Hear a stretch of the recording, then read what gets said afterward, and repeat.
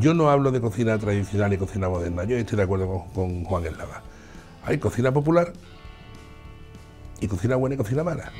Porque es alta cocina una deconstrucción de no sé qué con el aroma de no sé cuánto a la espuma de la madera que lo parió. Tan alta cocina eso como unas pochas con almeja bien guisadas.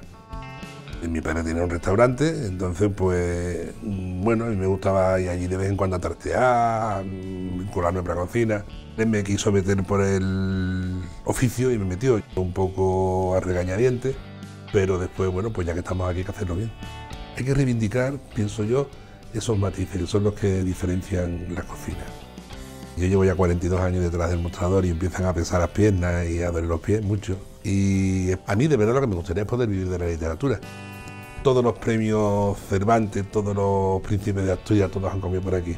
Jorge Eduard ha pasado Cela, Salamago era un habitual, Humberto Eco ha comido aquí, Pérez Reverte es un habitual de la casa, como ya además saca el restaurante en. Tenerife de su novela aparece el restaurante. Vargallosa, incondicional de aquí también. Y le encanta el buen jamón. La novela me la presentó Amalia Gómez. Fue una tarde mágica para mí. El pintor de mujeres sin rostro. Va estupendamente, todavía se está vendiendo. Está funcionando muy bien el boca oreja.